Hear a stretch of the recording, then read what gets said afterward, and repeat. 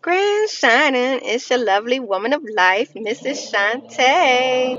And I just want to tell y'all something about manifestation real quick because you know we in this new moon energy and this new moon energy is all about planting these seeds that we want to, you know, prosper, grow and prosper. So I made a video about this a long time ago and I posted it on my old YouTube page. But I'm going to tell you something else that I learned that works a lot easier, a lot quicker. And it involves having uh, the ability of knowing, of faith and knowing, trusting the unknown.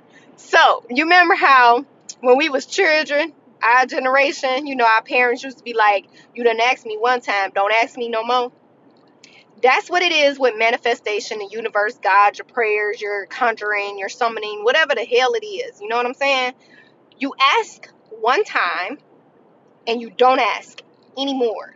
You just do the work that you know that you're supposed to do to get to the results. Don't worry about the process of how it's going to be, what's going to happen during the process. Don't worry about the end result and what that's going to look like either. Because although you ask, you do not get to choose if, how, and when you receive. You just got to know and do. Y'all stay safe and keep shining. That's my joy, my peace, my unconditional self love, my life, and yes, a little bit of my eternal light.